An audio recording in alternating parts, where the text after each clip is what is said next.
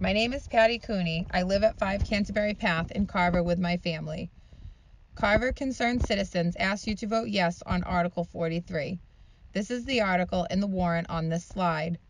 The purpose is to make sure land used for sand and gravel mining is paying its fair share of real estate taxes. The real estate tax process this article addresses is called Chapter 61A, a state law. Under this law, a landowner can ask the town to assess their land as agriculture to get lower real estate taxes. The landowner submits an application for Chapter 61A to the town assessor and says, I'm going to use my land for agriculture and not develop it or make big profits, so I am entitled to lower my real estate taxes. The tax assessor bases the real estate taxes on use of land for agriculture, not higher fair market value for development or an industrial use like sand mining. The land must be used primarily for agriculture. Example, if you own five acres and not in agriculture, you pay $1,000 in taxes. If you claim agriculture, you pay only a few dollars.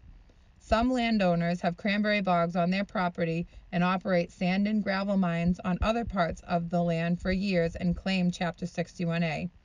For example, AD Makepeace submits applications for Chapter 61A every year for land that has sand mining and cranberries.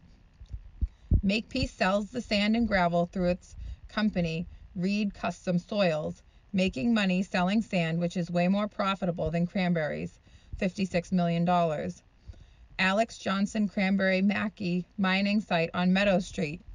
They have been mining for 10 years for about $5 million in sand and gravel.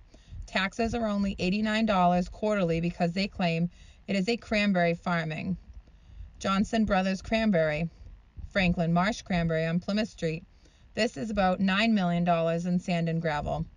The Office of Inspector General is investigating sand and gravel mining in Carver. The office investigates waste, fraud, and abuse of taxpayer money and property. It went to Town Hall on March 23, 2023, to get records from the Earth Removal Committee. We, the people of Carver, need to take action too. Vote yes for an audit. Make sure Carver is collecting all its taxes. Thank you.